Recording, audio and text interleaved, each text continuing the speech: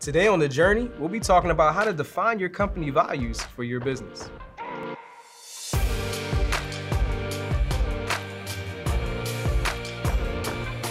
So if you want your business to stand the test of time, it's more than just about your bottom line. We're not talking about a gimmick for the sake of public perception. We're talking about true core values and basically how you show up in the world. All right, so how do you define company values? It doesn't just come out of the air. You have to take a look inside your company's psyche.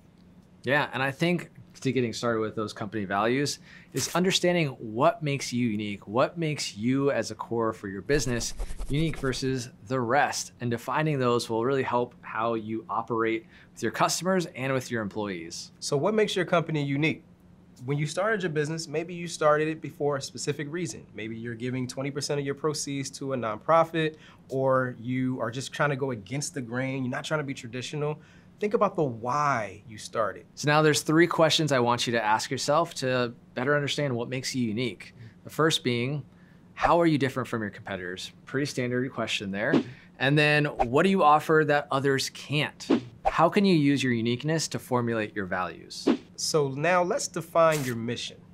Now you've discussed your strengths. Now you want to see if they really tie into your overarching mission. Yeah, your mission is ultimately the why behind your business. It's why you got your business started in the first place. I am an avid WordPress fan and user.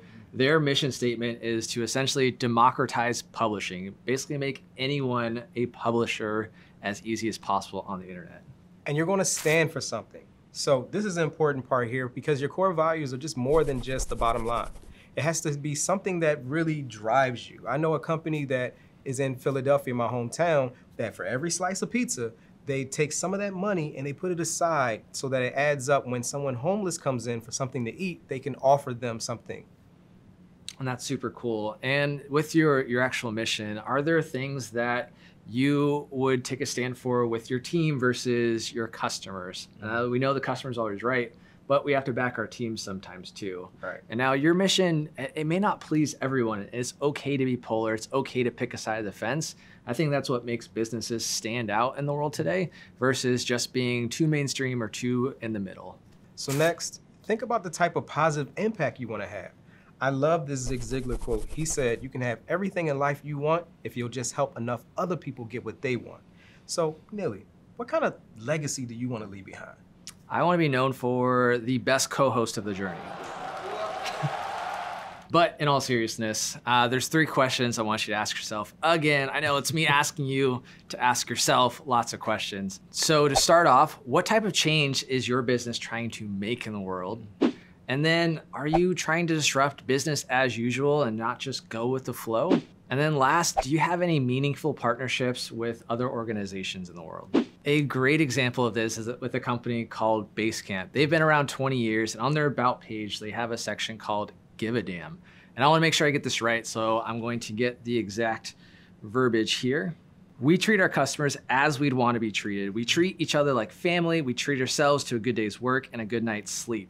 Have fun, do exceptional work, build the best product in the business, experiment, pay attention to the details, treat people right, tell the truth, have a positive impact on the world around us, give back, and keep learning. So yeah, I really love that because it shows that this company is really caring more about the people and it's not all about the bottom line. And of course, this does seem simple, but yes, they really do give a damn.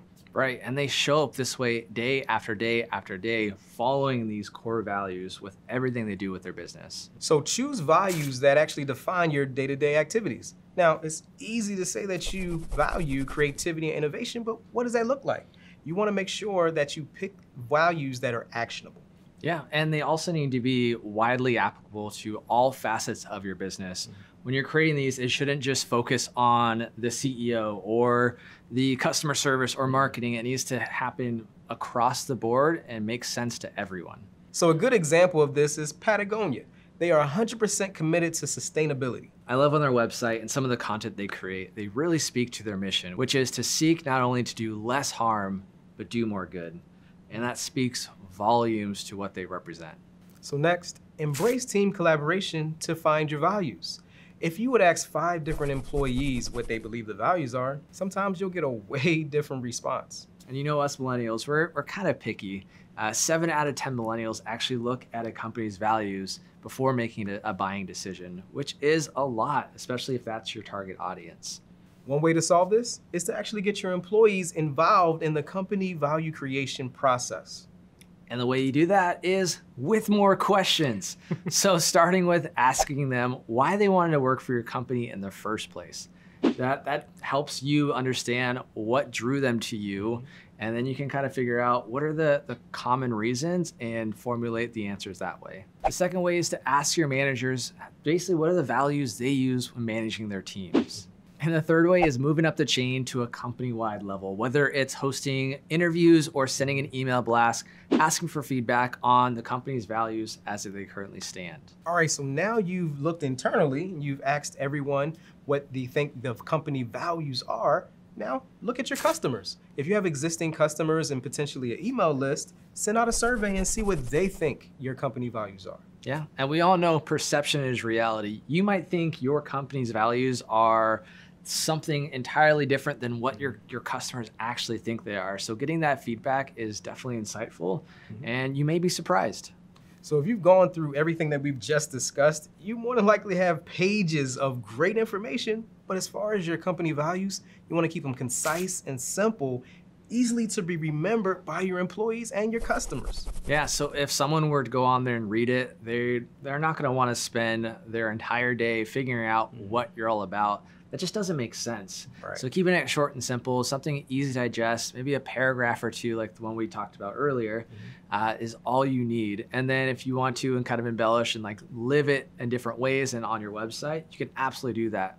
But those mission statements and those values have to be short and simple. So here are some tips. One, you want to combine any overlapping values. Two, make a list of 10 and go through there and see which ones your company just can't live without and then three, get rid of any bland values that really don't excite people to want to live them out. Yeah, and then once you have all these values, it's time to extend them to your organization with how you think, how you operate, how you act, literally everything. It's the the old saying, you can't just talk the talk, you have to walk the walk. You have to walk these values that you say represent your business with all facets of your business. All right, so that's a wrap. You just learned how to define your company core values. Make sure that you like and comment on this video. Hey, and subscribe to this channel and ring that bell so you get these episodes first. This is The Journey. We'll see you next time.